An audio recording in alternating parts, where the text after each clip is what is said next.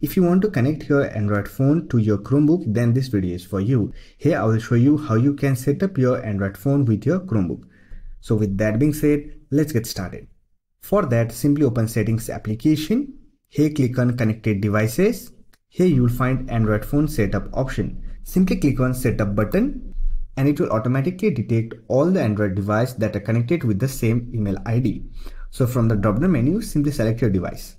After that, click on connect button enter your Gmail password, then click on done. And here you can see your device has been successfully connected with your Chromebook.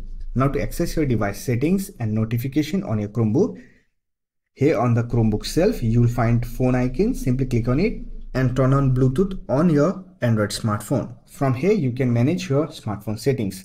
And here you will get your Chrome tab.